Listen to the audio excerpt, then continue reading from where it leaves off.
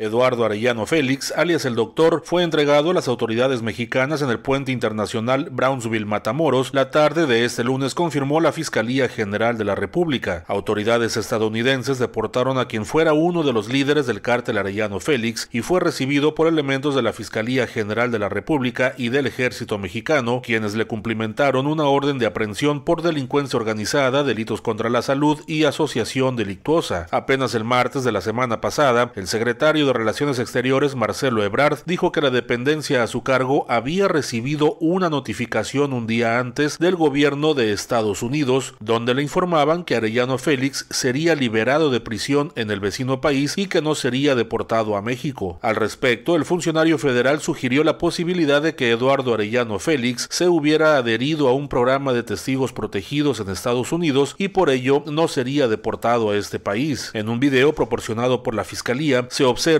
aunque con el rostro protegido, a Eduardo Arellano Félix siendo entregado en el puente fronterizo y también cuando realiza una llamada telefónica para después subir a un avión en el que según se informó fue trasladado al penal federal de máxima seguridad de El Altiplano en el Estado de México. Eduardo Arellano Félix fue detenido en Tijuana el 28 de octubre del 2008 en una residencia del fraccionamiento Misiones del Pedregal, agencia fronteriza de noticias.